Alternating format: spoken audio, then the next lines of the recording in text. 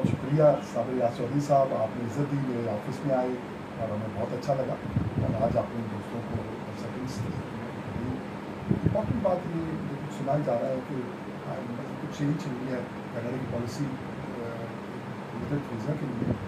وہ کیا چیز یہ چیز آئی؟ ہے وعلیکم السلام اپنا جو کینیڈین گورنمنٹ کے جو آفیشل ہیں، جو وزیر ہیں امیگریشن کے، انہوں نے اعلان کیا ہے اپنا جو فیس بک پر پاکستانی چینلز پر بھی یہ خبر چلی ہے کہ پہلے جو جو تھا نا تقریباً آٹھ مہینے سے زیادہ کا پروسیسنگ ٹائم تھا، جن لوگوں نے پچھلے سال کا بھی اپلائی کیا ہوا ابھی بھی ان کی اپلیکیشن پینڈنگز میں ہیں۔ تو اب گورنمنٹ آف کینیڈا نے جو ہے نا پاکستان کے بارے میں جو ہے نا ویزا پالیسی میں چینجز کی ہیں۔ اگر اب آپ ٹورسٹ ویزے کے لیے اپلائی کریں گے تو اس کا جو پروسیسنگ ٹائم ہے نا وہ ساٹھ دن ہے۔ اور یہ جو ہے نا آسانی پیدا ہو گئی ہے کہ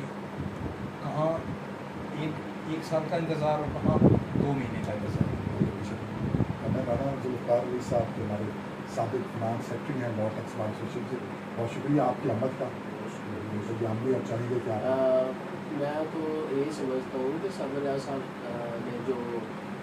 ہائی کورٹ میں جو لیکچر وغیرہ دیا جو سب کچھ وہاں پہ سیمینار ہوا وہ بہت اچھا تھا۔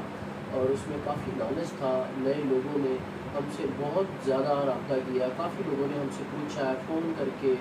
میسج کر کے کہ ہم وہ کیسے ان سے مل سکتے ہیں، کیسے ان کو ہم سے بات کر سکتے ہیں، انہوں نے بہت اچھا گائیڈ کیا۔ تو ہم ان کے شکر گزار ہیں کہ انہوں نے ماشاء اللہ اچھا وہاں پہ ہمیں گائیڈ کیا اور ہمیں ساری رہنمائی جو دی ہے، اس کے لیے ہم ان کا شکریہ ادا کرتے ہیں۔ خصوصاً جو ہے نا، یہ